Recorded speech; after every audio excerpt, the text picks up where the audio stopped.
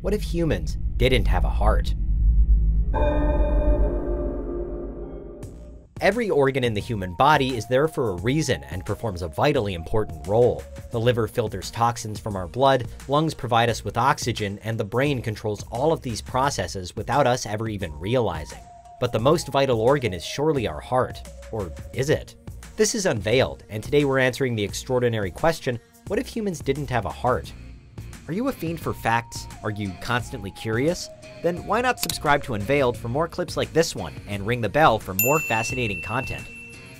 The heart pumps blood around the human body, carrying oxygen to our organs, tissues, and muscles to keep them, and us, alive. To do so, it beats between 60 and 100 times per minute, the only way to do without a heart would be to have a replacement organ or device to help circulate blood and oxygen around our bodies, or to develop an entirely new biological system that didn't require a heart at all. As vital as it is, the heart is prone to a lot of problems. Heart disease is incredibly common. In fact, it's the leading cause of death globally. Over 700,000 Americans have a heart attack every year, and this isn't our only problem when it comes to hearts. Some fetuses actually develop without a heart, with a partial heart or with a heart on the outside of their body, a rare birth defect called ectopia cordis. It generally results in non-viable fetuses. However, there are a few lucky cases where it isn't a fatal condition. One such baby was born in England in 2017, with her heart completely out of her chest. After having surgery, she made a full recovery with her heart placed back where it should be. But with so many fatalities and health problems associated with our hearts, perhaps removing it from the equation entirely would be the best solution. After all, even the healthiest person in the world can still have a heart attack through no fault of their own. So what if we ditched our traditional hearts in favor of newer, more reliable hearts that we developed ourselves? Doctors and scientists have been working for decades trying to create an artificial replacement for the human heart with mixed results. Their goal is to reduce the risk of heart failure and attacks and eliminate waiting lists for transplants. But while artificial hearts do exist, they're only designed to bridge the time to heart transplantation. A permanent solution has yet to be found. Although the heart is really just a pump, our organic one is actually much more powerful and reliable than the artificial ones built so far, which seldom last more than a few years.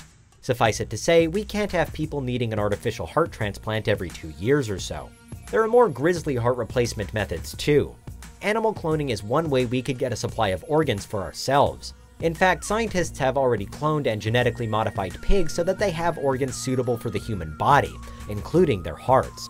Baboons have survived with pig hearts for as long as six months, with researchers saying it won't be long until similar trials start on humans.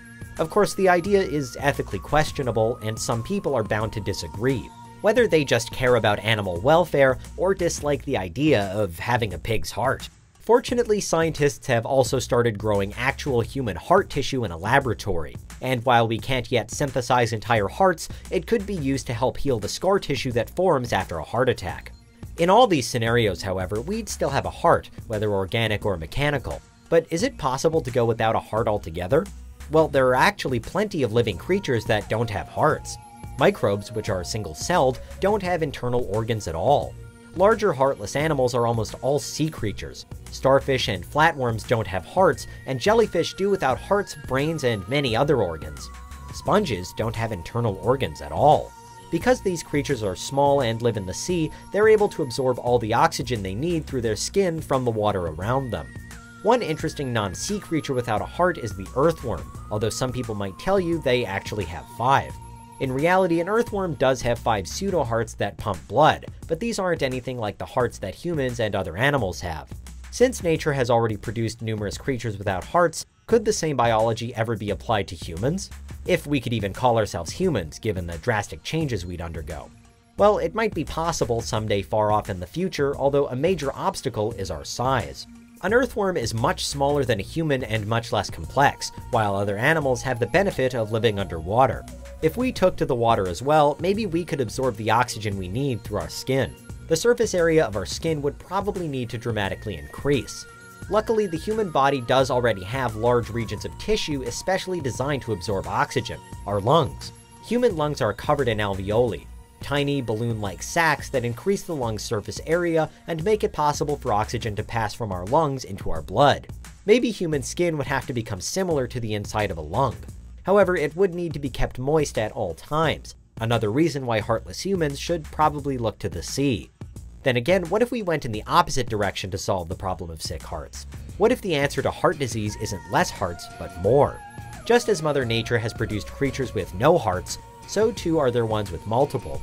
Cephalopods, squid, octopuses, cuttlefish, and nautiluses have three hearts, a main systemic heart responsible for pumping blood around the body, and two smaller hearts that pump blood through the gills. Stranger yet, the humble hagfish boasts four hearts to its name, one large main heart and three auxiliaries to help when the going gets tough. Also remarkable is the zebrafish, which can regenerate damaged heart tissue in the same way we humans can regenerate our livers. Scientists hope that studying the zebrafish might one day let us heal our own hearts in the same way. If we could completely redesign ourselves to go without hearts, we'd most likely become sea-dwelling fish people, pretty far removed from how Mother Nature made us. It isn't possible now, and it would be quite a sacrifice, but at least heart problems and illnesses would become a thing of the past. And that's what would happen if humans didn't have a heart. What do you think? Is there anything we missed? Let us know in the comments, check out these other clips from Unveiled, and make sure you subscribe and ring the bell for our latest content.